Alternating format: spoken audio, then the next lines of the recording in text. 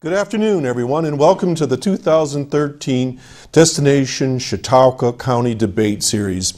I'll be your moderator for today's debate as well as next week, and welcome to the very first one today. I'd first like to thank our uh, candidates, uh, Mr. Ed Carutis and uh, Mr. Dave Himelein, to, for joining us and the willingness to present their views and perspectives uh, to the elected office of County Legislature for District 18.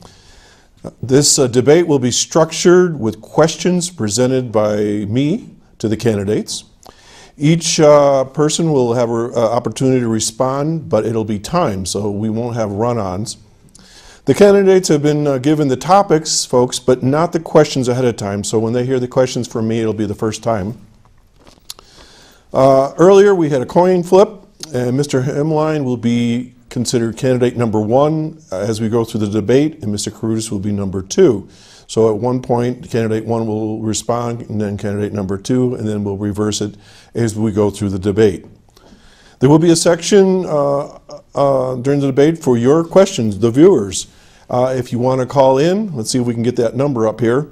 You can call us at 753 5225, and uh, one of our staff will be screening calls. Now, if we get a ton of calls, which we hope we do, we're going to be selecting calls that maybe had, uh, regarding questions that haven't been asked up till then, and uh, then they'll be presented in the later section. There we go, 753-5225 call-ins, but we'll let you know. But you, I, I, guess you can call throughout the show. Uh, the, the, questions will be screened, and then later in the show, during the third section, uh, we'll be uh, allowing your questions to be given to the candidates. I want to point out to everyone that the, the, opinions today expressed by the candidates are those of the candidates, not necessarily mine, those of the studio or the staff. All right, throughout the year, uh, if you've been watching our programs here, especially on the senior report, we've brought in a variety of folks from county government, uh, department heads and so forth on the senior report every Saturday morning. Uh, it's become very clear to all of us the county government has become a very important um, aspect of all of our lives here in Chautauqua County. And we hope that through these two debates, today and next Saturday, that you, the viewership, will have an opportunity to more closely examine the candidates um, in a different way than you do in print, and that uh, we're going to help you determine who you're going to cast your vote for on November 5. So in just a moment, uh, I'm going to ask our first candidate to uh, tell them tell a little bit about themselves and their position uh, for the uh, post at county legislature. So let's begin with candidate number one, and Mr. Himelein, if you'd like to begin, please do. Thank you, Mr. Hamels. As, he, as he has stated, my name is David Himelein, and I'd like to give you just a, a brief background of uh, myself. I was raised in Findlay Lake on a small dairy farm. After attending college, I started my career at Welch Foods, where I met and married my wife Joan, and we raised three daughters in Findlay Lake. As my father was a very active member of the Findlay Lake Fire Department, I decided to also join the department and help the residents in my community.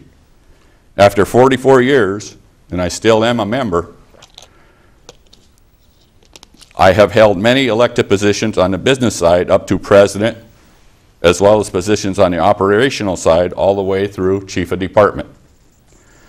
On top of my work and activity in the fire department, I also ran for and was elected to the Mina Town Board where I served for two terms.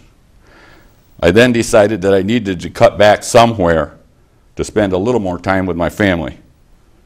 This was a result of my being actively involved in the Chautauqua County Fire Chiefs Association, including president in 1996, and sitting on the Chautauqua County Fire Advisory Board, where I was elected chairman in 2004 and 2005. While I was working in Westfield, I was also elected chairman of the credit committee and subsequently elected treasurer of the Westfield Area Federal Credit Union. I also served as a, serve right currently as a board member of the Mina Findlay Lake Historical Society. I am an officer in Olive Lodge 575 Masons and Acacia Chapter 96 Order of Eastern Star. My career at Welch Foods came to an end, and when I retired after 41 and a half years, most recently as processing operations supervisor, I thought at this point in my life, I could finally sit back and relax just a little. But that didn't happen. Less than a month after retiring, I was approached to fill the vacancy in the county legislature for District 21. I couldn't refuse, and after an interview, I was selected to serve the district. During my three and a half years on the legislature, I have been a member of the Public Safety Committee, and I currently serve on the Audit and Control Committee, Chairman of the Public Facilities Committee, and the Assistant Majority Leader. Being a county legislature, legislator can be challenging and yet rewarding, both personally and professionally. But I have enjoyed serving the people of my current district and the county. And I ask the people in the new District 18 to vote for me to serve them for the next two years. Thank you. Thank you. Okay, Mr. Carutis. Thank you.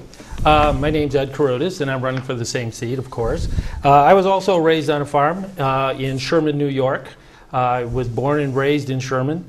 Um, I also operated a farm. I owned and operated a farm for about 10 years. Uh, After that, uh, for various reasons, I left farming and uh, became a teacher, and I've been a teacher for 23 years. Uh, My family is very involved, has been, and is still very involved in small business, as uh, myself. Uh, I have that small business background, gives me a good broad perspective for business and labor. Uh, During my time at the school, the 23 years, uh, I've been uh, association president, served on various committees, and as president of the association up there, I've negotiated several contracts.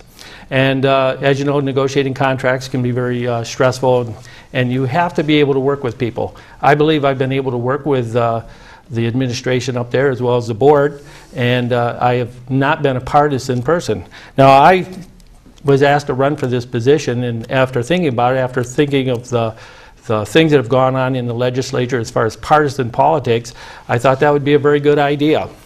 Uh, And we have some problems here. We have uh, population loss, job loss, and you can uh, argue which came first, the chicken or the- or the egg, but it's a problem. One of the reasons our taxes are so high is because of that population and job loss. We need to reverse that if we're going to have a, a vital uh, economy and preserve the way of life that we've known here. And we can't do it with the tax base that we have. We have to have a little bit more. Uh, I would, I would like to change that. We've had a legislator up there for, many of them for many years, and it hasn't changed. It's only gotten worse. So we need some fresh ideas. We need to focus on what can, what will keep our young people here, because they are our future. And I'd like to focus on jobs that will keep them here as well as bring business in. Because after all, we can't educate all of our young people to do one thing, go to college, become a CEO, and expect them to stay here, because those jobs are few and far between. As your legislator, I will bring good judgment, honesty. I won't use the job for my own personal gain, and uh, uh, promote common sense government without partisan politics. Thank you. All right, thank you very much. All right, gentlemen, what we're going to do now, and folks that are, are watching, is we're going to pose some questions to each of the candidates. Each candidate will have the opportunity to uh, respond to the question for two minutes. And after that, the, um, I will ask the, each candidate for a response to that question uh, after that. When we've uh, finished that question, we'll move on to the second question, and uh, we will reverse the order, where the second candidate will have an opportunity to uh, respond to the question, that's next candidate, and then a response and response, and then move right along. And you'll see that will be the way we'll do it. All right, so we're going to start with uh, candidate number one, Mr. Himelein, and here's the question. Da-da-da-da. All right. I'll, I'll phrase this, and if you don't understand the question, I'll just simply ask it again. um, Mr. Himelein, what will county government look like in your mind or in your goals after, I believe it's two years now, it'll be a two-year term? Yes, correct. Uh, in office. So in other words, after two years, what's, what's, what's the county going to look like, county government? That's a very in-depth question. Uh, Well, first of all, to start off the new year, we will have 19 legislators instead of tw- the current 25. That's a, a big difference. The, uh, we will see more regionalization in the county through different efforts, I think, that are underway right now, such as in the North County and around the lake. There's some regional type things going on that I will elaborate on later. Um, other than that, I would hope,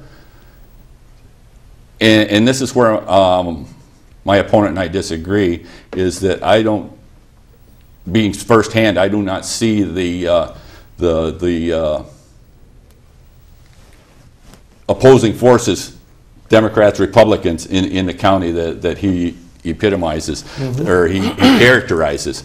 I've got along with several Democrats over the past few years. Uh, we, we don't always agree on everything, and, and- but uh, there's a lot of Republicans that, that don't agree with, with my point of view on some things.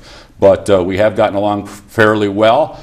Uh, but uh, I don't, other than that, uh, I, I'm, I can't answer anymore. I will drop it. The, the question was really looking at what, what would be the services and the government as a whole, and you just have a little bit more time. Is there anything, any other thoughts on that? Well, I, I don't know as we can, uh, services, we, we're, we're, we've got to maintain our, our infrastructure and stuff like that for, to maintain our services as a, as a vacation, uh, mecca for, for visitors. But, uh, the final look of government will hopefully, through some of these regionalizations, the, the governments will get together finally and uh, start working together, Okay, county and towns and stuff like that. to- okay, very good, thank you.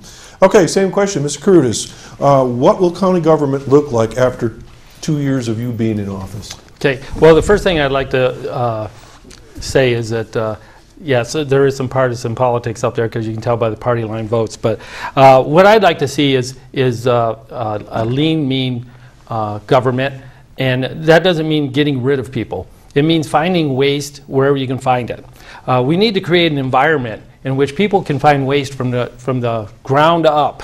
Uh, If you want to find waste and money that doesn't need to be spent, ask your employees. They know best. Uh, they, they will tell you. And we need to create an environment where somebody can say something and not be shot down as, as if it is a criticism of the management, but it, and embrace that as if, uh, hey, you're helping me. Uh, that's the first thing I'd like to do is create that environment where anybody can uh, say anything and can give uh, pointers on how to save things. Now, I know right up at the school, there's things that I have mentioned before. At one point, we were uh, spending $14,000 on fertilizer. Now, this is not to criticize anybody at the school. We have lawn care people come in and tell us, but as, with a farming background, I looked at that and I said, that's wasted money. We're not feeding cows. We're cutting it up and dropping it on the ground, so we don't need to spend $14,000 for fertilizer. Now, if a person at the bottom of the, the ladder, so to speak, brings that to the administration, it needs to be looked at as a, a good thing and not just poo-pooed and brushed away. There's a lot of those kind of things that go on. The other thing I'd like to see is, is we have a, a very concerted effort to keep these streams and lakes and all of our vacation things uh, in pristine condition. That's what brings people in here. And another thing that we need to do is we need to start educating our children for the jobs that are here and the job and for jobs that might come in. And that may mean more vocational training. It may be uh, some jobs that we haven't even thought of, but we need to find out what those are. If we trained all of our kids to do one thing, and then say, say that was uh, nursing, it might be really good for a hospital to move in, but it's not real good for a CNC uh, uh, industry that uses CNCs to move in. Uh, They like to, businesses need a skilled workforce. Okay, thank you very much. Uh, Mr. Himelein, if you'd like to respond. Uh, no, I, I, I will Or add my, or- I will or- add my remarks Okay, well, you can, you can expand on your first answer if you like, or you can Yeah, pass. I- You know, I, I- yeah, I, I, the infrastructure needs to be, in my, in my opinion, in many areas, and I see them firsthand, sitting on audit and control committee, that many of those areas can and maybe should be reduced in our county government. Uh, We worked very diligently on audit and control to do some of that work by reducing the county executive's proposed budget. So, you know, and, which I will explain later, but uh, I, I do hope that uh, they can be downsized some. Okay, thank you. Mr. Krutis, you have one minute to respond. Uh, Well, I guess when I think of infrastructure, I'm thinking of uh, industrial parks, uh, sewer systems, uh, roadways, and things like that. And uh, let's face it, business needs those things. Business needs good roads, uh, they need sewer systems and, and uh, industrial parks. So to uh, reduce, I'm not sure very many towns, counties, or states have actually become wealthy by cutting. Uh, We need to have reasons for business to stay here. We can't increase taxes, we know that, because uh, comparatively, we're taxed quite high. But we need to reduce waste and save money and, and make our infrastructure the best it can be with what we have. And that's what's going to bring business in and bring residents in also. Uh, Because business isn't going to come in if they don't have a skilled workforce, and the skilled work workforce isn't going to be here if there's no jobs. So we have to work on both. Okay, very good. Let's move on to question number two, which is related to, to the first question. And uh, I'll be directing this to Mr. Krutis this time to start. Um, Here's the question, it's a little bit long. Each year, the legislature attempts to fu- uh, to fund a variety of infrastructure capital projects. However, there never seems to be enough money to cover the requested projects from the various departments.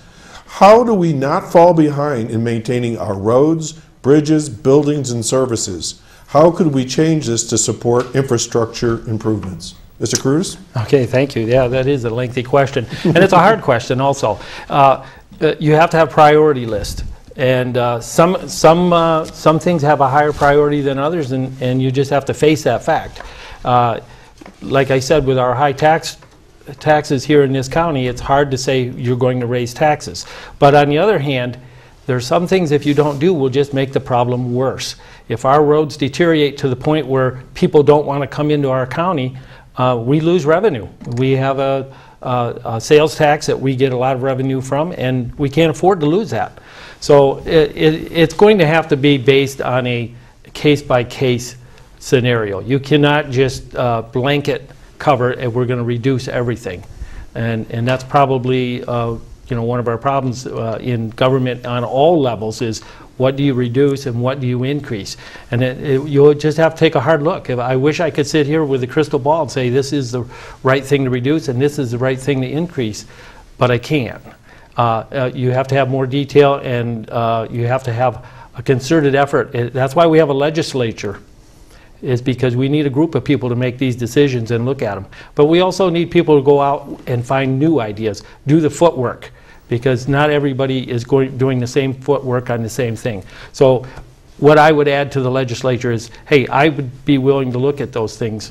Uh, I will do the footwork. I am willing to do the hard work for this county to make it better. Okay, thank you. Uh, Same question, Mr. Himmelman? Yes. Um, that is where I think I can excel a little bit in that I have sat on the audit control and, and looked at those things. And there is a board set up to look at capital projects from throughout the county that uh, different departments submit. And I'm quite happy to say that my home committee, the Public Facilities, did leave in an extra $300,000 for road and bridge repairs this coming year that the county executive proposed. We did not cut that. So I am, and, the current, other members of the current legislature are very mindful of uh, our infrastructure needs, that they have, to, you know, the road, especially roads and bridges, that they have to be well-maintained in order for people to come in and this county to be a, a visitor's mecca. Um, We have to also put a additional money, be it local or funding, or grant funding, into some of our other projects that are going out there, like the equestrian trail Up up near, Sil- up near Cherry Creek, uh, we have to maintain our snowmobile trails, our, our hiking and, and, and bike trails and expand those. There are plans in the work to expand those to bring in more tourists. So, uh, you know, the, you know, we, we are working, and I I especially am working, and I did very carefully review all the capital projects out there. And uh, the board ranked them, and there was only a couple I had some differences with, and I brought them up in a meeting, but, but uh, they weren't enacted, but, uh, you know, that's, that's just the way it works. So, uh, yeah, that's it. Okay, thank you. Mr. Carutis, response to this or expansion of your answer? Not really a response. I, I just want to reiterate some of the things I said is that, uh, yes, there has to be a priority list. And uh, uh, people have to do footwork on these things and, and uh, actually sell them to the legislature. Uh, let's face it, the, every legislative member is not going to go out and do the footwork for one thing. So we need people that can come to the legislature uh, with the facts and with the ideas and sell it to them so that they uh, can work on it. Uh, just bringing an idea in isn't enough. You have to be able to sell it to them and, and try to make it work. And there's going to be failures. And uh, people have to be willing to accept those failures. Uh, and when I say failures, it's probably not one of those type of failures where you crash your car, but it's more of a failure as it didn't work out quite the way you wanted. It doesn't mean it's a complete failure. But we have to be willing to accept that kind of thing. Uh, and we also have to be uh, eager enough to get in there and sell it if it's a good idea because just, just posting an idea isn't enough. You have to have the facts and uh, the salesmanship to get it through. Thank you.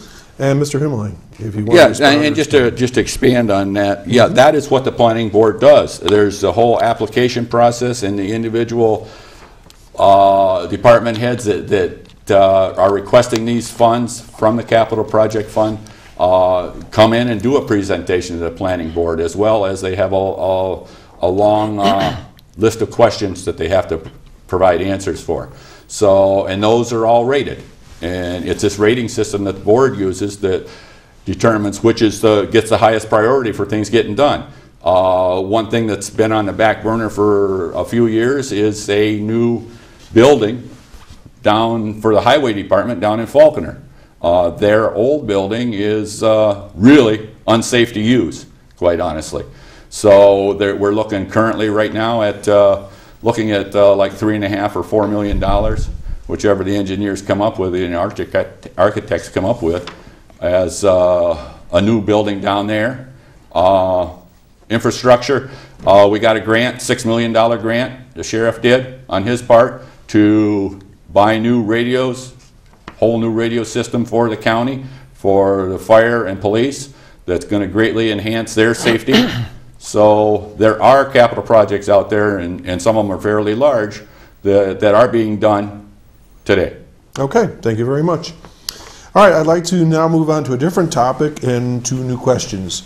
Um, If anyone watches the senior report, you will know that uh, the topic of the county home has been near and dear to all of our hearts, and we have covered it from day one. I've uh, personally been attending meetings and so forth and tracking this particular topic. And so here's the question, and we'll begin with Mr. Himelein this time. If the home were sold, and it- we, day by day, you're never quite sure, would you support pilots, payment in lieu of taxes, for investors to open the way for more senior, independent living and assisted living units um, throughout the county as the baby boomer generation retires and will fill up the limited services that are presently available? This is for, The county home. yes, this is for all other nursing homes too, to expand, pilot program to expand there. For the investors of whoever buys the county home. Oh, for, specifically for the county home. Uh, Yes, we, we met with the, with the um, potential purchasers, uh, buyers of the, of the county home the other night in the legislature, uh, on the, on the 9th, and uh, they, it was their intention, when, if and when they get some money, that they will probably expand on the 30 acres down there in Dunkirk, they will, they will expand uh, their care, their, their physical therapy, as well as their assisted living spit capacity down there. So if it takes a pilot to get that in place, and depending on the terms of the, of the pilot, of course, you know, you, the pilots can go from, from just a sales tax exemption to a, a full-blown, uh, you know, 50% property tax exemption. Uh, depending on how much that is, I would definitely be supportive of that, yes, because I think that the, the county home should be sold. I think that at one time there was a place for the county home, uh, for the people in the county home, the poor, the indigent, but with the uh, advent of Medicaid and Medicare, there, uh, that is the safety net for these senior citizens. And uh, I think that we need to, the county needs to get out of doing what the private industry can do as well or better than. Okay, uh, thank you. Same question, Mr. Cruz? Uh, Yeah, I'd have to agree, agree with Dave on uh, some of his points as far as uh, giving a tax break for that. But I, I, I would have some reservations, because, let's face it, uh, once you start in privatizing it, and which it looks like it is going to be sold, uh, the problem is, is, you know, how fair is that for other businesses? You know, if you're in business doing something, it doesn't matter whether it's a nursing home or anything, uh, and one nursing home is getting a tax break, and you've been in business for a long time and you're not getting it, it's kind of unfair business practice. So I guess it would be on a case-by-case, uh, and, and again, like what Dave said, is, is how much and what is it? So it's a hard question to answer. Uh, But these nursing homes are going to be in great demand in the next few years, uh, and they will have to expand, I would guess. Now, one problem with, with the expansion is getting these licenses. So if you have a license, uh, it's very valuable, and uh, that, that may be a problem in the future, getting licenses. And I don't know how the state is going to handle that. So I guess that's another subject, so I'm, I'm kind of getting off topic, so, thank you. Okay. Uh, Back to you, Mr. Himelein, for any other thoughts on this topic? Yes, uh, no, I just lost my thought. Um, Everything is not always fair when you are working out there in the private industry out there. So if we give a pi- a pilot to a company that's coming into the county and is going to either keep the jobs or give the community more jobs, then I'm, I am for it. Uh, Yes, it isn't always fair to the established industry, but uh, if, if it means more people employed, better jobs, than, then I am for it. Okay. And Mr. Cruz? Uh, Well, I'd just like to say that there are some businesses that come into the county, they're going to come in regardless. And uh, if nursing homes make money, they're going to be here. And you won't have to give them money to come in. Now, if nursing homes don't make money, they're not going to be here anyway. Now, there are, there are uh, situations where you do have to bring people, you know, give them the pilot or sales tax abatement, I, I agree.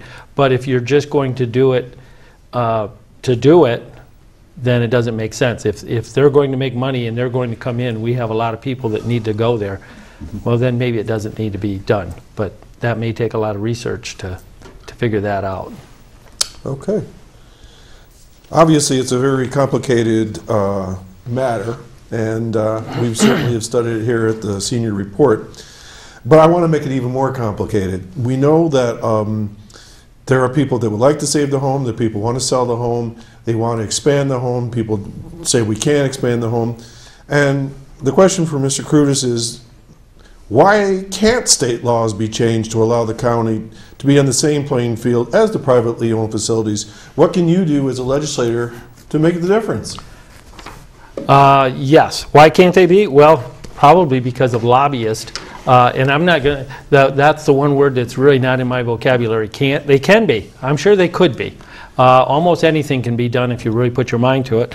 And sometimes maybe they should be, because, uh, you know, we have a lot of cases of medicated uh, fraud and patient abuse in the private uh, homes. And that's not to say all of them are. I'm not against private homes whatsoever. But the laws could be changed. Now, uh, as a legislator, I would be in contact with Andy Goodell, Kathy Young, and and the like, and, and I know those people anyway. And that would be one of the things that, that I might uh, work at, just to, uh, to make sure that uh, things can be done like that. Uh, Same way with our education of our young people. I'd like to uh, lobby for some changes there also. And that, that just gets right down to the, one of the, the, my pet peeves is that word can't. And when you said that, that, that set me off there because I really, I really don't have that. My, uh, the way my father raised me is, is, is uh, if I said the word can't, and he said, well, you will. and uh, that's the way I've lived my life. I've, uh, anything I've decided to do, I've been able to do. And so I, I guess uh, I just don't agree with the question. It, it can be done if you work hard enough. All right, um, Mr. Himelein, your turn. Yes. Can't was never allowed in, in my house either. Well, we were raised the same. so Farmers. We have that. Yeah, it was farmer, yeah. We have that in Absolutely. common. We, Thank we you, could Dave. not, could not say can't. Uh, But, I- and, and, and here I, you know, I've got to agree with Ed a little bit, is that, uh, believe it or not, but, uh, I I can't, uh, Commonality. yeah, we can get along, see? Um, Yeah, we can. no, that, uh, where was I going? It uh, doesn't help to, uh, you know, Well, the state, the state says you, you're not allowed to expand. yeah, and, and, and, and you can't, I, I carry no illusion to the fact that we can ask, and we can ask as a body, we can ask as individually to our, our senators and legislators. But sometimes, like we've tried to do other things in the past, we've sent resolutions to, to the legislators and stuff, and it falls on deaf ears. So I have no illusion that these laws will ever get changed. I can ask and I can ask, but uh, I doubt seriously if the state will ever allow us to run a county home any different than, than what it is right now. Okay, thank you. There may be other things that pop up uh, where the state holds us hostage to the, to the rules and regulations. So, Mr. Akrudis, you have an opportunity to expand on the county home or just the state in general? Well, part of our problem is lobbyists. It, it really is. The, the law for uh, non-expansion of county homes, that was brought on by lobbyists, and uh, we need to get that out of our politics. We need to stop electing people that are held hostage by lobbyists and special interest groups. Uh, and you know, we're all we're all members of special interest groups, but we ha- what we have to do is remember that just because I want it, doesn't mean we can take from another group and, and uh, give it to yourself. Uh, So as far as uh, changing those laws, that is a big obstacle, lobbyist, I believe. And uh, uh, it's just one of those things you have to work at to get those things changed. They can be changed.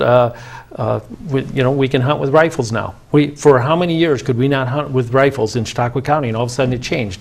So you have to, it takes work, it takes a lot of hard work, and uh, it takes uh, the public knowing and speaking out. And uh, if you look right now, you see Scope has a, uh, a big campaign out to repeal the SAFE Act. And they are speaking out and they're organizing, and that, that's the kind of thing that has to happen to change these laws so that uh, our, our representatives take notice. And I, I know at the state level, it's hard because so many of those representatives are uh, from downstate, and that really, is it downstate or upstate? Uh, But that, but that, you know, they carry a lot of weight down there, and they don't understand how we live here. And, and they need to be made to understand how we live up here, so they can understand our problems. Okay, thank you. Hey, Mr. Himelein. You Mandates. Opportunity to expand. What's that? Mandates. Mandates, Oh, I oh. hate that word. I definitely Camp and hate that mandates. word. Yes, uh, I see them every day from the Department of Health and Human Services mandates that, that control more than fifty percent, fifty million dollars of our local share of taxes, uh, to, like Ed said, the, the SAFE Act. Um, I don't agree with the way the state has run our county, tried to, even though, you know, we are, are supposed to be self-governing. That doesn't really happen too much, only on some very local matters. But uh, it doesn't appear that uh, we'll ever get rid of mandates. Uh, There are too many people in Albany, Washington, that have their own agendas that are forcing them down onto the local people. And I just don't see that going away, even though the governor has appointed a, a a couple of new boards uh, at the state level to, to look at some of this stuff, but, uh, you know, mandates are here for, for forever. Okay, and I, I know about mandates from my own career in education, so Yes. it makes you wonder. Okay, if we can move on. We're about halfway through our topics, guys. We're doing a great Okay, job, good. Okay? go. Uh, I hope you're, you're comfortable, and I hope you all Oh, are enjoying the debate so far today. Uh, If you just join us, I'm Doc Hamels, and uh, we are having a debate for uh, County Legislature of District 18, which covers Mina, Findley Lake, Sherman, Chautauqua, Mayville, and DeWittville. I don't know if it's DeWittville or DeWittville, uh, it depends on who you talk to. Yes. Okay, gentlemen, the next topic that we're going to talk about is water and sewer districts in Chautauqua County lakes. The question, we're going to start with uh, Mr. Himelein this time. Water and sewer are key infrastructures for county growth. What is your vision for the county? Who's going to pay for this? Without this uh, infrastructure, there's no economic growth. How do you cope with this as a legislature? Well, uh, there is a lot going on as far as, as water and sewer districts. Uh, a plan is, is being developed, or has been recently developed, to extend a sewer district clear around Chautauqua Lake. Um, that is gonna be very, very expensive. And quite honestly, it will be a district, just like the, the South County, you know, Lake District and uh, the North County and the Portland Pomfret Sewer District. Um, it's gonna be paid by those taxpayers. Um, It isn't something that's going to be passed on to somebody that lives over in Mina to support the, uh, the, uh, building of the sewer around Chautauqua Lake. But by the same token, the people around Chautauqua Lake, because Mina, Findley Lake is looking at currently building a sewer district around my lake. And I know that they're looking at very large numbers, uh, very, very large, 18 million or, or better, just to go around Findley Lake. So, and that will be borne by the, the taxpayers around the lake. Um, do I like it? No. Uh, is it, because right now, uh, there is very little grants out there that I know of or have heard of to help with that infrastructure. Um, but uh, it is important either through the building of those sewer districts or more enforced septic systems uh, to manage the weeds and, and, and the stuff that, uh, nutrients that go into all of our lakes. Uh, you know, we've got to keep our lakes clean for, to draw in visitors. Uh, If we don't do that, then, then we've lost the ball game because tourism is a, is a huge factor to our economy in, in this county. Okay, thank you. Mr. Curtis, your turn. Yeah, well, this is one time I have to de- agree with Dave. Actually, it's not the one time, we've agreed a Yeah. lot. But uh, yes, we have to have this, and uh, sorry for the people who live around the lake, Uh, it's going to have to be paid for by tax money, uh, which is your money. The septic systems that you could put in around the lake in place of a sewer system would probably be more uh, expensive than putting the sewer system in. So that's really not an option there. Having put in a few septic systems, I, I know the, the space that is needed is just not there when you're living around the lake. So the, the sewer system is a must, because let's face it, that's our economy. Our number one economy now is tourism, and uh, we can't afford to screw it up. Uh, I've been on that lake, uh, Chautauqua, a few times when you couldn't even drive a boat in some places because of the weeds. And weeds like fertilizer, and sewage is fertilizer to weeds. So we have to, we have to limit that as much as possible, and along with other things, you know, uh, over fertilizing yards and, and uh, farm runoff is also a problem. But, uh, uh, you know, you just can't have a septic system running into the lake. It's it's just not going to fly in this day and age, and, and that's one of the costs of living in a modern society. Okay, Mr. Himelein, expansion of your your first question, or answer, or any thoughts? No, uh, uh, in addition to what I said before, um, I know that the, the, the townships surrounding Chautauqua Lake all signed an agreement to limit or try to limit the runoffs from their townships into the lake.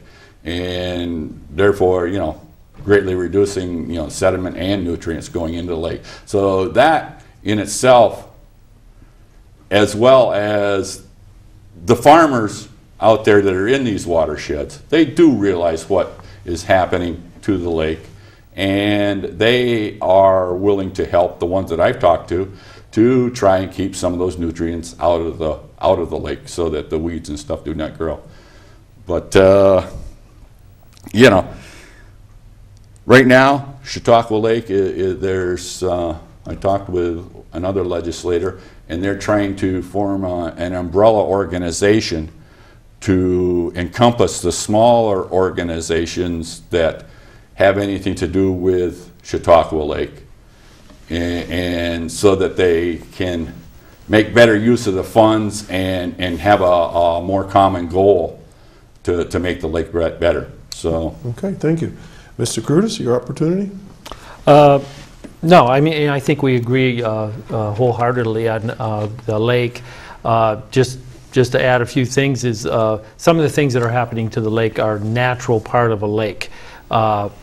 Runoff from uh, fields or woods or whatever it is flows into the lake, you get sediments, and it's not just fertilizers, it's not just sewage, it's not just phosphates from uh, soap, it's also just sediments, natural sediments that come from the woods or anywhere else. And so part of it, we can't do anything about.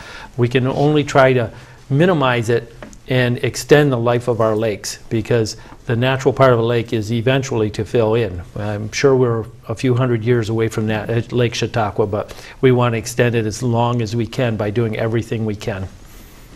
Okay, this next question is similar to some of your responses, but maybe we can expand a little bit on it.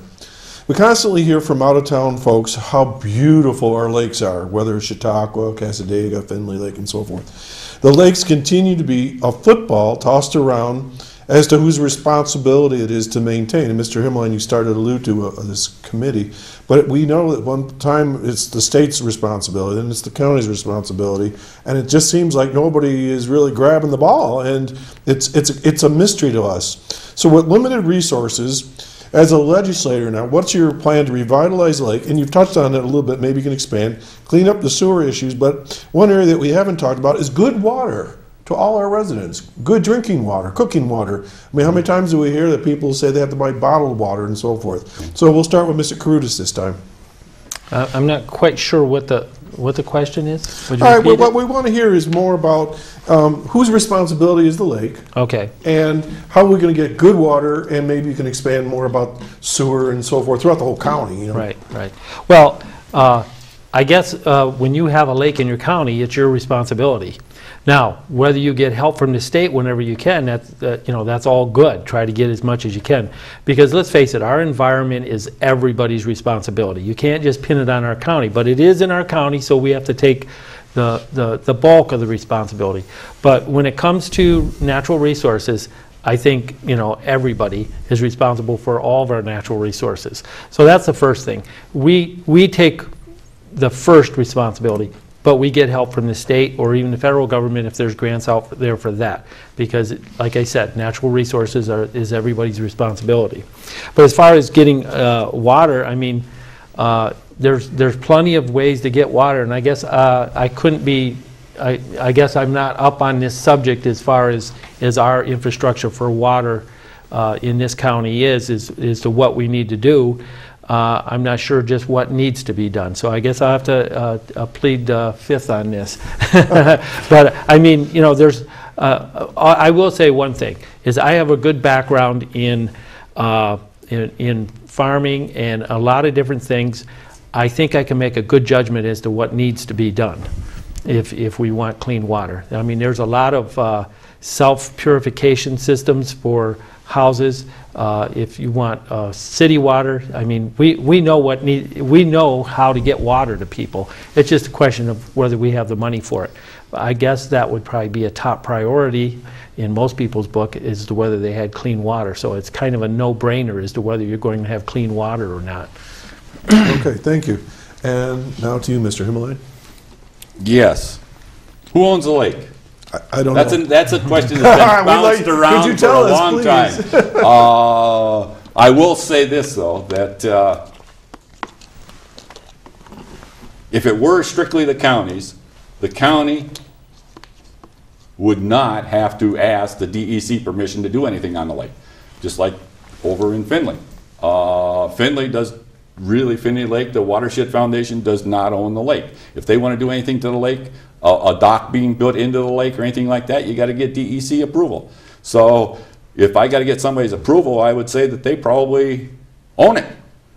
Um, you know, and as far as water, yeah, everybody should have and is entitled to clean water. Now, I know that the, the village here has their own water system. Um, Sherman has their own water system. Mine is totally on wells, as well as, uh, you know, everybody else out in the countryside is on wells. Uh, we have good water, hard water. It's not like down along the lake shore that's got sulfur, which I'm sure you're familiar with. But uh, to combat some of that, you know, Chadwick Bay Water District is just getting formed. That's going to encompass Sheridan and uh, Dunkirk, Fredonia, and yeah, up in Hanford, Hanover, you know, area too.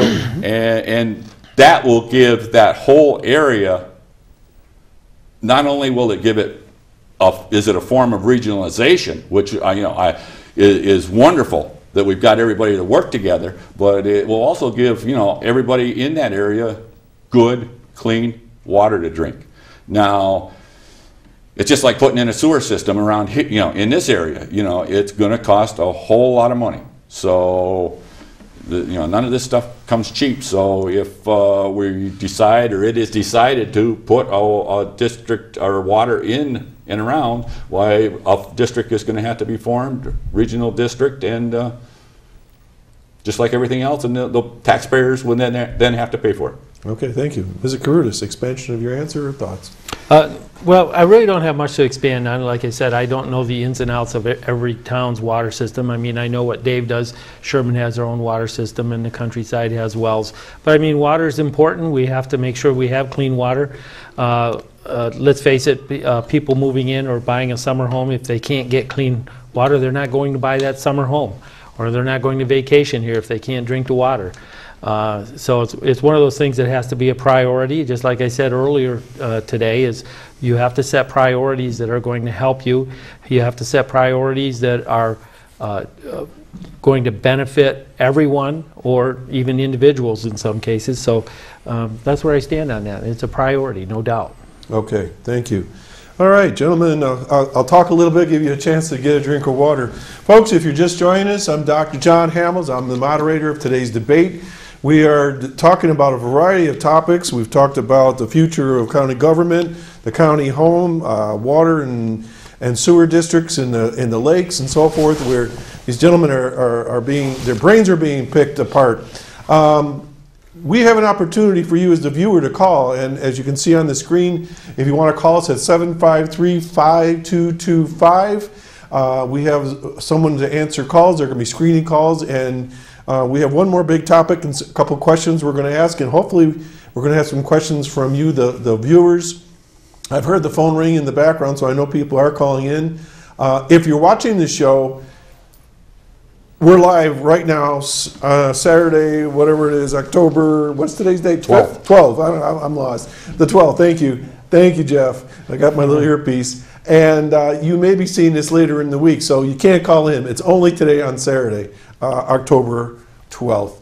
All right, we're, we're, we're gaining here as, as we go along, so please call in your questions. All right, gentlemen, and we're going to start with uh, Mr. Himelein again uh, on this question. This is a doozy, so prepare yourselves. All right, here we go. The topic is taxes, employment, and the economy. The first question under this, here we go. And again, these questions come a lot from our show and our, and our folks here at the, the senior report. We are heavily taxed. Reed Powers will tell you that we're the most taxed uh, county for its size in the country. We have streamlined government. We have less, we have less departments, we've, we've merged them and so forth. We've cut costs, we know that. You, you, you guys just talked about, you cut the budget the other day. We're told that we need to sell our county programs, such as the county home and airports. But tell us, how does this all translate into jobs and a thriving economy, or is this the wrong approach? So, Mr. Himelein, you may begin.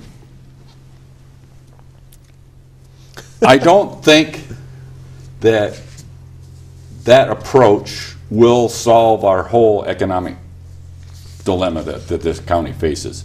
Um, once again, or especially this year, here again, sitting on audit and control, um, we were able to cut taxes this year from the county executive's proposed budget. Uh, his he had a 24 cent increase in, in full value rate. And the, uh, as of the other day, 11 o'clock uh, Wednesday, we had reduced that to a 5 cent decrease in full value rate for the taxpayers. So, you know, uh, if that goes through, then, then every taxpayer in the county can expect a, a small decrease in their tax bill. Um, Reducing taxes alone will not drive the, anybody's economy. It takes a joint effort between private and public to build an economy. And until, and, and a pilot program is one way that the county can participate and, and help private industry gain employment. But the county alone can't increase employment. It has to work with and through private industry. So uh, I don't, uh, I hope we can see more and more of that. Uh, we have the IDA out there. Uh, we have to get them working very hard to build our economy. Thank you. Mr. Curtis, your opportunity. Well, yes, uh, one of the reasons we're heavily taxed is because we're a shrinking economy. If we weren't, if we were a growing economy, we probably wouldn't be as heavily taxed. If you look around the country and you see a growing economy, you're going to see people that are not heavily taxed because there's construction jobs and uh, there's businesses moving in that pay taxes. Uh, so that's that's some of the stuff we have to do now. I know we're not going to turn this county around and all of a sudden have a boom town here. Uh, I'm not, you know, completely living in a wonderland, but but I do believe there's some things that we can do to at least stop the shrinkage. We need to stop it so that we can live a life that everybody else lives. There's, so there's a couple things that need to be done. Now we know right now we're, we're heavily mandated on a lot of things. We're different than New York City. We don't need some of the mandates that are out there. Some of the mandates that uh, are out there cost us money, but we're, we don't really need those mandates. Uh, so maybe we could do, uh, maybe, maybe our, we could lobby to get some of those mandates lifted for our county. I mean, we do it for hunting. At one time, you could hunt with a shotgun in Chautauqua County and only a shotgun. Uh, and other counties you could hunt with a rifle. So why can't we have some of the mandates here, for example, just with our schools? Uh, we cannot merge a school that is not contiguous with another school. And we can't have a regional high school. Well, maybe those mandates or those laws are good for some areas.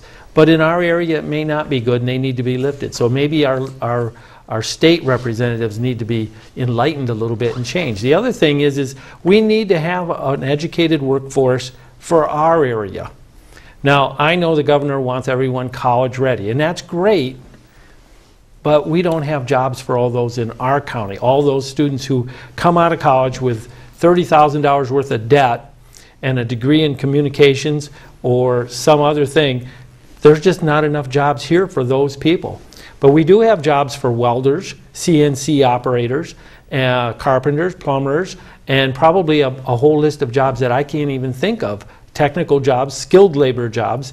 Uh, so if you had a, a workforce coming out of our schools, and I'm not talking just high schools, but I, I do believe high schools could be changed, but JCC, and JCC has started a great welding program up there in uh, manufacturing, uh, manufacturing uh, uh, degrees, Uh, and we need more of it. But if we had a workforce, a skilled workforce coming out with those kind of people, it might be a little easier to get a manufacturing company to move in or some other kind of company. Now, I have a nephew that uh, graduated from JCC, their welding program. Great program. He went to Alfred. JCC started their program up, and thank you, legislator, for, uh, for uh, funding that. Uh, came out of there, had a job before he left, and he has a great job. I believe he's making more money than I am up to the school, uh, and we need more of that. Okay. And, oh, okay. Well, we, we found a topic near and dear to your heart. We'll There you go. Okay, I, I don't mean to cut you off, but we need to stick to our program here. Okay, Give Mr. 10 second warning. Uh, Okay, and I believe, where are we here? Mr. Himelein, you have the opportunity to rebut. Yeah, when Mr. Carutis started off, he almost almost sounded like a Republican. Well, No, you but- funding that program actually sounded like a Democrat. okay, tit for tat. Anyway, uh, no, uh, there's no doubt that we have to match for the economy in this county to grow. We have to match our skills with our workforce with the jobs needed. And from way I understand it right now, even with what we've done there with, with, in some in the technical schools down there at uh, at James JCC, uh, it isn't enough to fill the void. Um, I heard a report, and I haven't had time to check into it, but I have heard that in the north part of the county, that there is an agency that's looking for over a thousand workers, but can't find them because they're not, don't have the job skills to fill the jobs. So uh, we have to do a better job of training those people.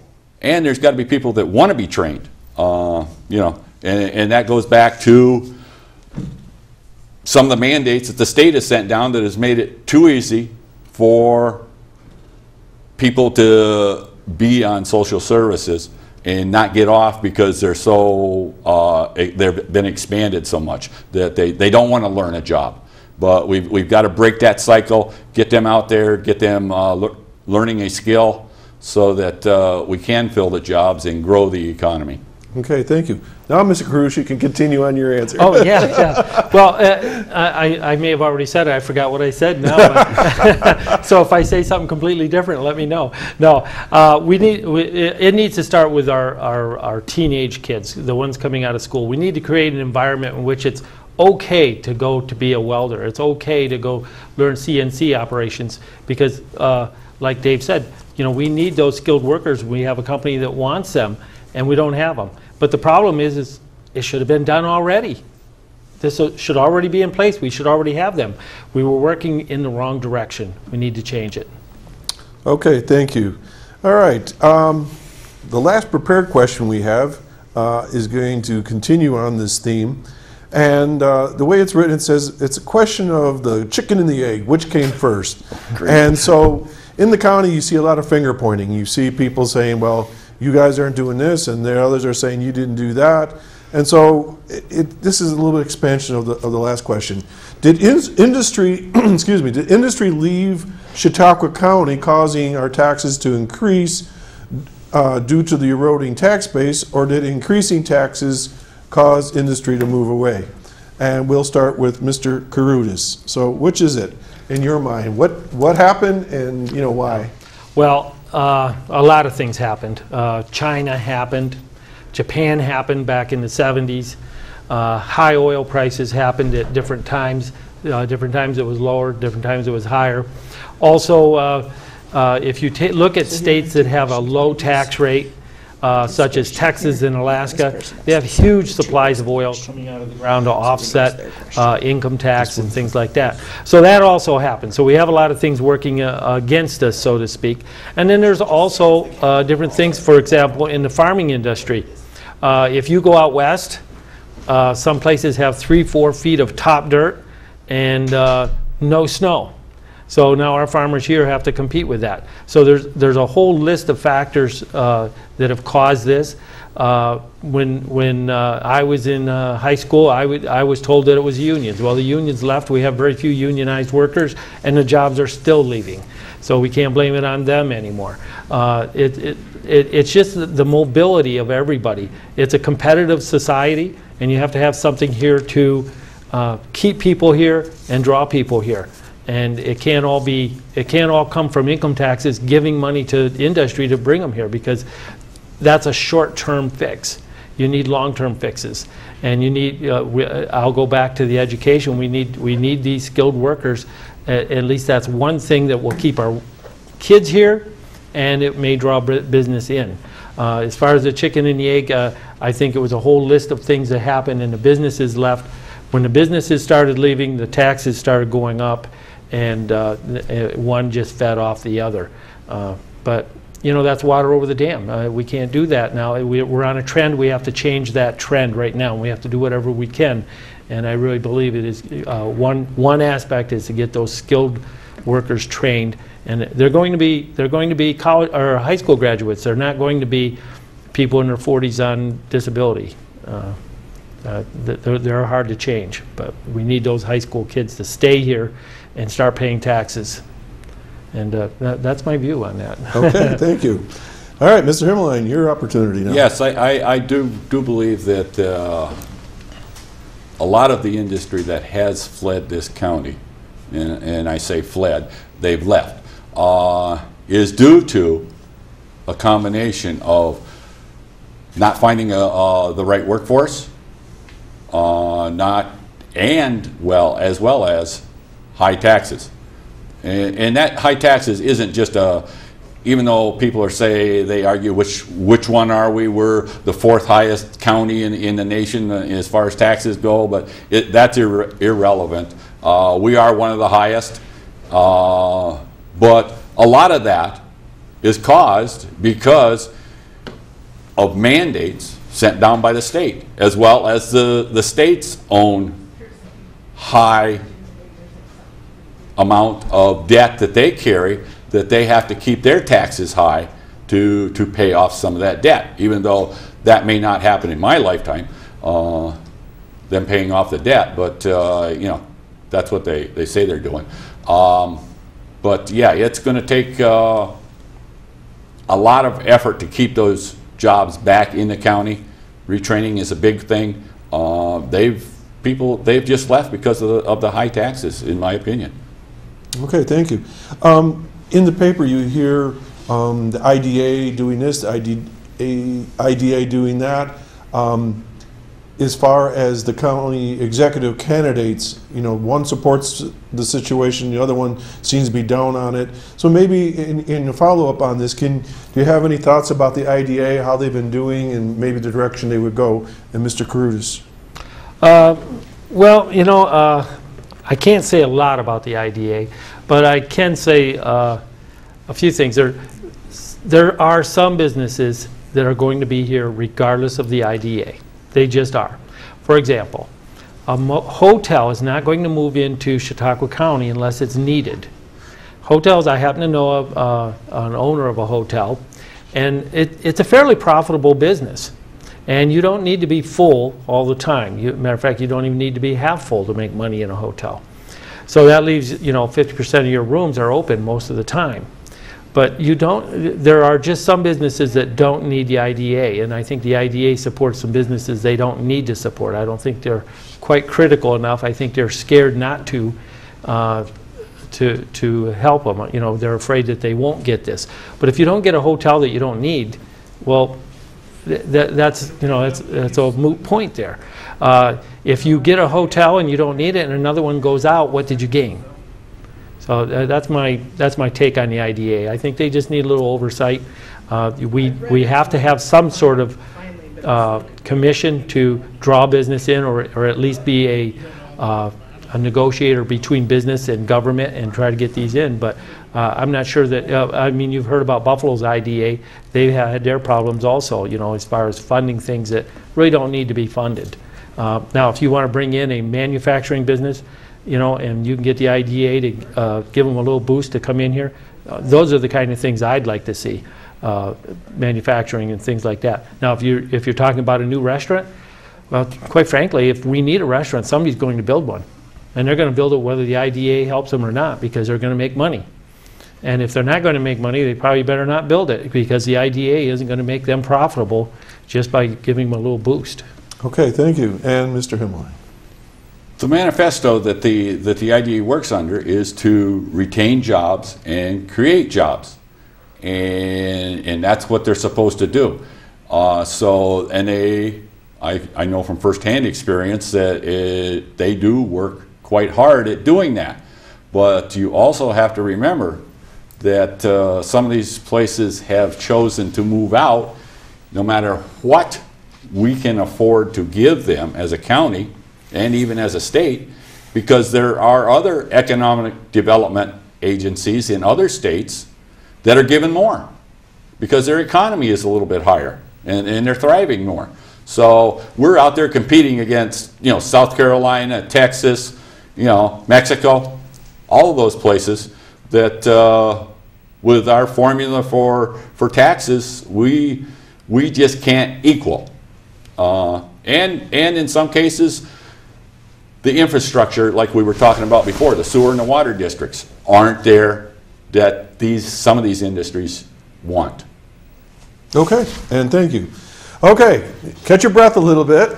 We have only about 22 minutes left. Uh, how- uh, It's been flying, hasn't it? Oh, it's gone. And I do appreciate your, your uh, willingness to, to, to speak with us today.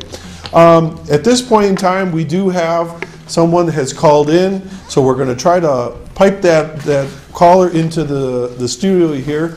And uh, I, I'm going to assume Chris and Jeff, we're ready to hear from this uh, caller and the question. How Okay? So let's have, let's have a listen. How can we balance the financial and environmental impact on our roads, lakes, bridges, recycling, and water and sewage systems? Does the income generated by tourism exceed the costs? Okay, let me reiterate that one since I have Yes, it printed here. okay. I, I, in my earpiece, it sounded a little garbly, so, uh, let's, let's, this was the caller's question. How can we balance the financial and environmental impact on our roads, lakes, bridges, recycling and water, it's a long one, or sewage systems? Does the income generated by tourism exceed the cost? I guess so, they're, they're talking about how, you know, tourism versus all the improvements that are needed. And, um, so we'll start with Mr. Himelein. Well, I, I think that's almost the, the, the chicken and egg, egg thing again. Uh, you know, if you don't have the infrastructure out there, the roads, the bridges, the sewer systems, to bring people into the county that want, want to live here or recreate here, uh, you need that in, in, infrastructure first to, uh, you know, draw them here. Um, I- And quite honestly, I don't know if there has been a comparison. Does what we spend on, on the infrastructures uh, equate or is less than, uh, you know, what we bring in in in tourism dollars? I cannot answer that. Um, I don't know, I have not done a comparison that way. Okay, it sounds like the caller is questioning whether we should be putting our money into tourism, we get a good bang for our dollar. I don't know the answer either. Okay, Mr. Carutis, what's your uh, Uh, thoughts yeah, on yeah, it's a very good question because sometimes we don't think out of the box like that. Uh, sometimes we don't. We, we just see all this money coming in, and then we say, "Well, we have to spend money to keep it." So it's a very valid question, I think. But on the other hand, too, is some of the things we have to do anyway, as far as our uh, sewer system. I mean, you know, we we don't want open sewers and things like that. So we we need to to have some of those things anyway. Uh, But as far as the extra things that we may do, uh, you know, it it could be a valid point. uh, Like, I I guess I have to agree with Dave, there's, it- you know, I don't think anybody's done a study. It would take a little bit of uh, number crunching to figure that out, quite a little bit, actually. And sometimes we don't think what would happen if we didn't. Uh, Matter of fact, I was talking to a person in Sherman, of all places, who said, well, what if the, what if we let the farm, you know, right now, the farms get a tax exemption on their land? And that helps keep them in business in Sherman, Clymer, and Findley. Uh, And they said, well, what if we didn't give it to them, and what if some of them went out? What would happen? You know, I mean, I, it- believe me, farming is very dear to me, and I support farmers 100%. But what if, what if some of them went out of business that were on the poorer land? We've had that happen in the past, and part of that did help shrink our economy. But with this environment right now, if, you, if you've looked around, you see hunting cabin after hunting cabin. If, if uh, some of those went out, possibly we would make more money on, as far as revenue, tax revenue, on hunting cabins than we would farmers. Uh, You know, it's one of those things that nobody ever thinks about. They just say, well, let's just keep the farmers in business, keep them in business. But, you know, sometimes you have to let supply and demand and, uh, and the free market take over. And sometimes you get the results that you never thought of would happen. Okay. Talking about anticipated results, Yeah, unanticipated. right. results, exactly. Okay, thank you. And Mr. Himelein, your thoughts back on that? Yeah, I, I- I, believe it or not, Ed, I have to kind of agree with you that uh, the infrastructure's out there, sewer, water, roads, bridges, they have to main, be maintained for our, our local citizens to get back and forth to their jobs, for the, the economy as it exists today to, to still maintain itself, sustain itself. So, uh, yeah, we, we need that infrastructure out there. Um, how are we going to pay for this? I know that uh, just recently, uh, through the Audit and Control Committee, I know that uh, the bed tax that exists out there, 5% bed tax, that does go to support our lakes and, and tourism, and, which brings in, in, in people. But uh, Finance Department just got through sending out letters and, and enforcing the bed tax receipts, uh, receipts of uh, bed tax money. And in the last few months, they've taken in an, an additional $200,000 that we did not have before. And uh, so that is helping to pay for that infrastructure. Okay, and Mr. Carutis, your thoughts? Um, No, I guess I don't really have a, a whole lot more. Uh, uh, The bed tax, uh, $200,000 is not small change, but in a uh, $200 million budget, it's not very much either. So I guess it's one of those things that uh, the number crunching would probably tell the story, and even then, that probably wouldn't even be an exact because of all those unknowns of what might happen if, if we didn't have the tourism. Uh, un- Unanticipated consequences are, are at every corner on, on that question. Okay, folks, well then let- we can uh, move on to our next call-in question. I have it written here and I'll, I'll read it to you. Um, If you just joined us, we're in the, the the last throes of this debate for county legislator for District 18. We've got Mr. David Himelein and Mr. Ed Carutis, and I'm Doc Hamels, moderator, and uh, uh, we aren't going to have any more time for call-ins because we do are, uh, have the last question and running, believe it or not, out of time. So let me read the last question. They're all, the guys are going, oh, thank God. It, we, they've been standing here for a long time. I get to sit. Okay, gentlemen, we'll be starting with Mr. Carutis this time, and here's the question. And this is a tough one. How do we remedy the high cost of social services in Chautauqua County, especially the part where uh, New York State is forcing us to pay a high percentage of all that? Okay, well, let's, let's assume that we can't change how New York State does business, and that we have to do that. And So that's a pretty good assumption right there. Uh, Goes right back to my main premise.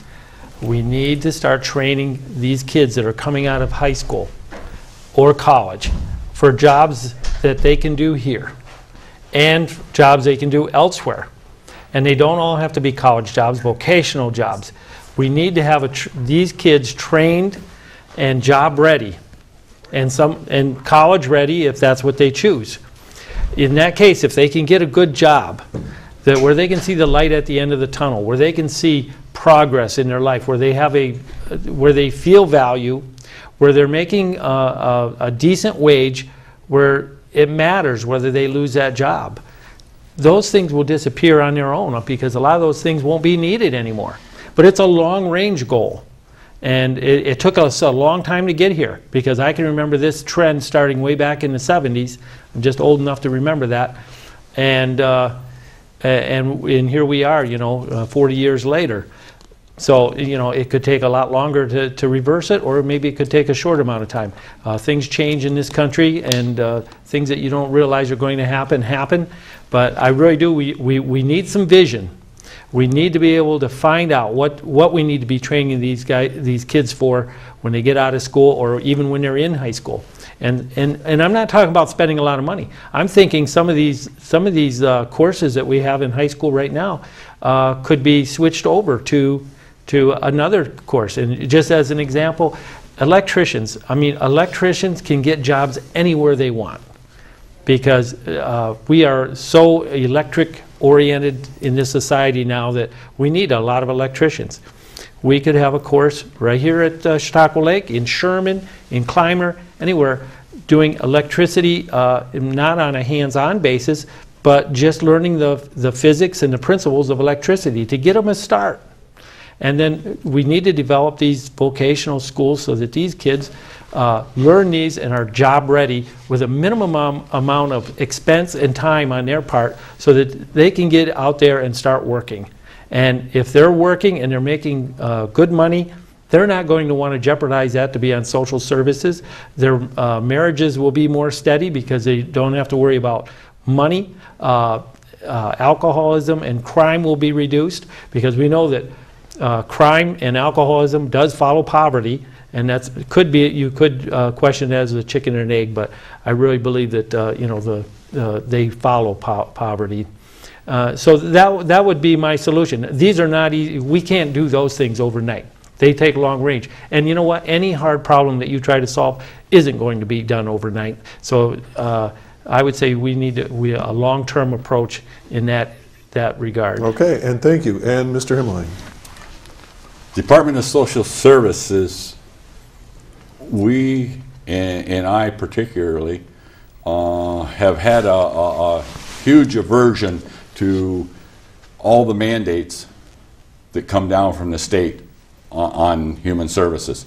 And it's because of these very lax rules, regulations that allow generations of, of, of people to get on social services and be allowed to accept social services and not force them to get out there, train for a job, attend a school, or whatever it takes to build their skills so they can maintain a, or get a uh, well-paying job and get off of these uh, service, social service uh, roles.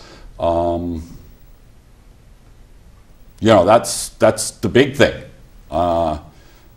Uh, How are we gonna stop it? I, it, it- it's gotta come through the state. Uh, because we have very little control over, over our social service budget. And a, even then, we've also gotta go out and look at if we are, as a county, offering duplicate services that the private sector offers.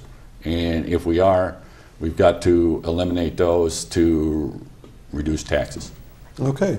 Mr. Carutis, final thoughts on that topic? Uh, Well, yeah, I'd have to agree with Dave about uh, eliminating duplicate services. uh, uh, And I'd like to uh, expound upon, expound about, about that, but uh, I really don't know enough about what I actually heard to, to say so. But I know there are some duplicate services in the Medicaid area, uh, and I'm not sure if they're still going on with some of the things. So uh, it's one of those uh, very complex subjects that you really have to get into and see. But uh, yeah, we, if, if we can eliminate mandates like uh, Dave says, that will help us a little bit, but we have to be careful. There are people who are really in need of these services, and there's, there's, as we know, there's people who really can't work. So we have to be careful on just what mandates we get rid of or relax, whichever it is. Uh, And, you know, with reasonable heads in the legislature or at the state level, if we get somebody in, uh, get the state moving a little bit, we can do that. But, yeah, I agree with Dave, there's probably too many mandates there. Uh, It costs us a lot of money, and it goes back to uh, regionalization. Uh, The state passes laws that cover everybody, and Chautauqua County is different than any county in New York City, and, and we need to, well, I guess I said that backwards, sorry, any county downstate. Uh, So, you know, we may need different mandates in some of those, and I think it's time for the state to start realizing that, you know, we are different. We're a different environment, different economy, and we have to run things a little differently up here. Okay, thank you. And Mr. Himelein, last chance on that question. I get the second chance, okay. Uh, Yeah, I, you know, e- everything that that Ed said is, you know, true. We've got uh, so many mandates out there. Uh, But it is, and I'm not against anybody getting social services that that absolutely needs it, you know. I- And I understand there's some elderly people out there that, that that don't even have social secu- security coming in that that need these services. So, a- and, you know, that there's other factors out there that, that contribute to having to spend money for, for people in our county. And I, I do not begrudge uh, one penny that is being spent on those people. Because by and, by far and away, they have produced something during their life uh, that has been a benefit to this county. And uh, we need to, to help them out in their time of need. Okay, and thank you. Gentlemen, we're just about to the end of the debate. In fact, we're done debating. All right? Uh, At this point in time, I'm going to give each candidate three uninter- uninterrupted minutes to close out their, their case to you, the voters. And, uh, and we're going to start with Mr. Carutis. Anything you want to say, three minutes, you got it. Okay, I'd just like to say, we, you know, we can't continue down the road we are on. We can't continue with the old ideas and philosophies that we've had that maybe we can cut our way into prosperity. We're, it's just not going to happen. It hasn't happened for anyone uh, in, in this nation. But uh, we can keep our uh, assets that we have, our lakes, our streams, our forest in pristine condition to draw people here because there are a lot of naturalists that like to be here.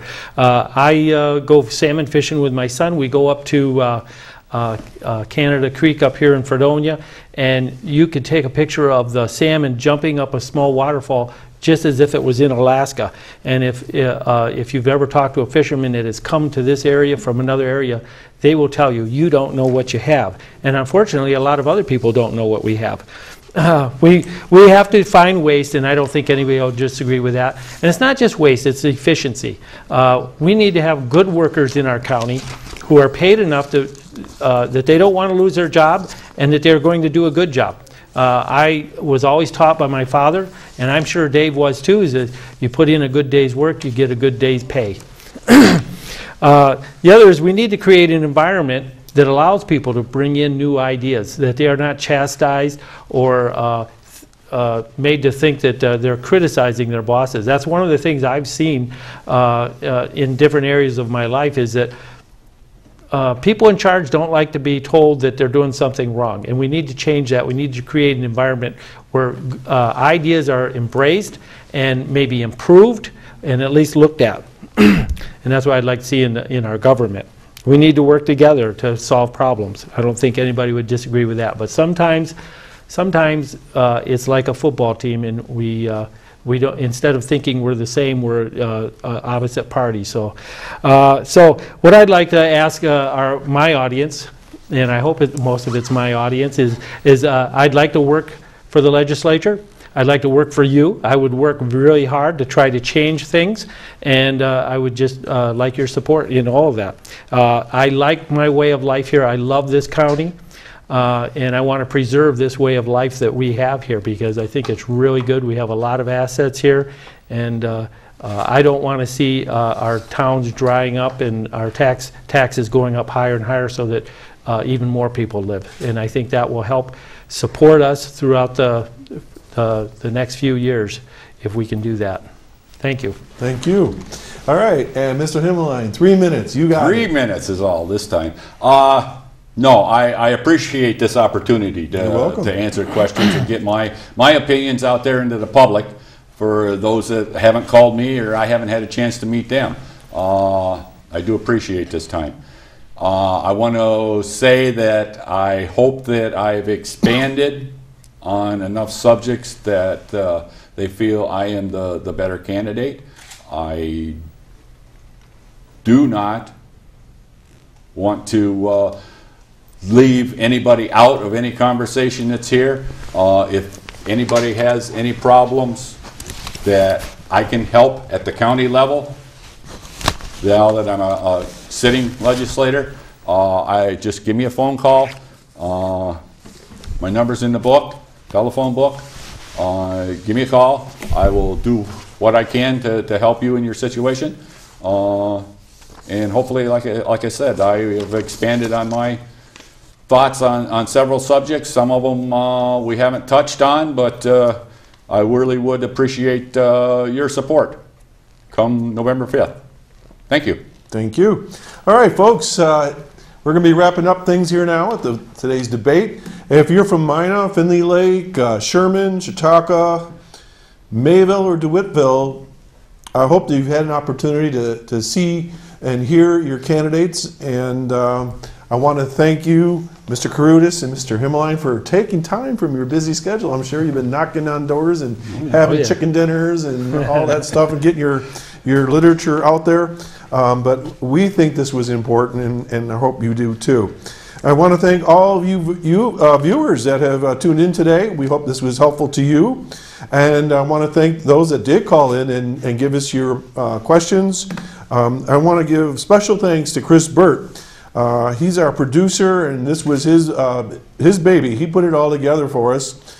Uh, Jeff Zook, our engineer, Randy Burt, our cameraman, has been shoot, running around here on a gimpy foot, taking pictures and uh, did a lot of the uh, work behind the scenes of putting together the, the equipment and so forth. This show will be uh, rebroadcasted, folks, throughout the week on Cable Access 5, and hopefully you can see it uh, throughout the county in different um, channels. Also, it's going to be on YouTube. You can look it up there if you like. We hope this debate was informative and gave each candidate the opportunity to let you know where he stands on each issue. Next week, folks, should prove to be just as interesting and informative when we have Mr. Vince Horrigan and Mr. Ron Johnson, both candidates for the office of uh, county executive. They'll be debating right here, uh, October 19th at noon. I will be moderating once again. And uh, I would like to thank every one of you for joining us. I'm Doc Hamels. I look forward to seeing all of you again this time next week.